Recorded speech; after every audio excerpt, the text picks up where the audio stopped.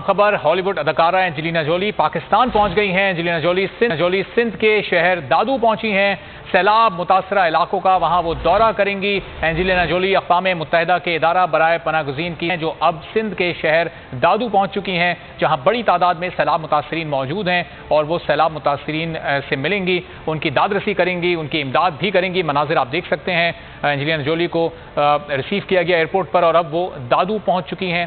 दादू के सैलाब मुतासरा इलाकों का वो दौरा करेंगी, जहाँ पर सैलाब मुतासरीन से वो मुलाकात भी करेंगी।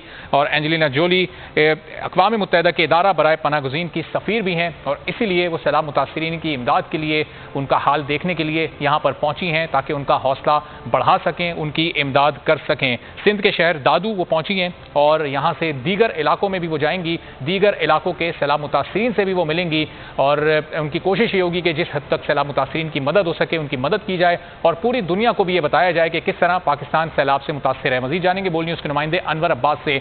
अनवर, क्या मसरूफियात रहेंगी? एंजेलिना जोली की कहाँ कहाँ वो जाएँगी? जी बिल्कुल जो कौम मुतहदा हाई कमीशन बाई रेफ्यूजीज की खसूसी नुमाइंदा हैं लीना जूली जो कि एक मरूफ फ़िल्म स्टार भी हैं वो इस वक्त पाकिस्तान पहुँच चुकी हैं। और जराए के मुताबिक दादू में वो इस वक्त मौजूद हैं। बुनियादी तौर पर उनके दौरे का मकसद है कि चूँकि वो खसूसी एल हैं बरए रेफ्यूजीज़ तो वो U N H C R की जो सैलाब के हवाले से एक्टिविटीज़ हैं उन, उनकी निगरानी करेंगे पाकिस्तान में उनका जायज़ा लेंगे इसके अलावा।